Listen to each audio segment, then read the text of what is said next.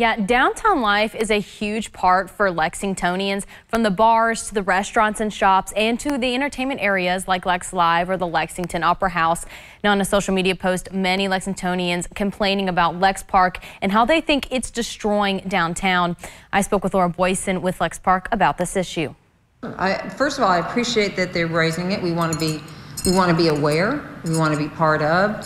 Um, and we also want them to be aware of the, the, the, choices downtown, that we could help them. They could look at lexpark.org, our website. They could call us because we can give them other choices in parking, which, which might be a, a, a better choice for them.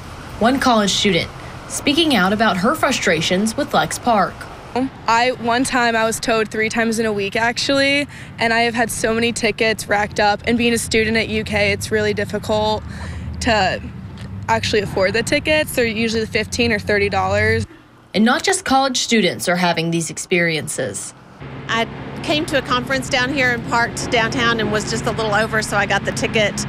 And the process to appeal was complicated, so my only option was to pay it online or through some app, which I think could be difficult for some people. Kelly says that because of the tickets, Oh, I left my car back in Chicago and didn't bring it down this last semester because of all the tickets. Boyson, however, says it's not exactly a rise in parking tickets. It's not just meters that we're managing.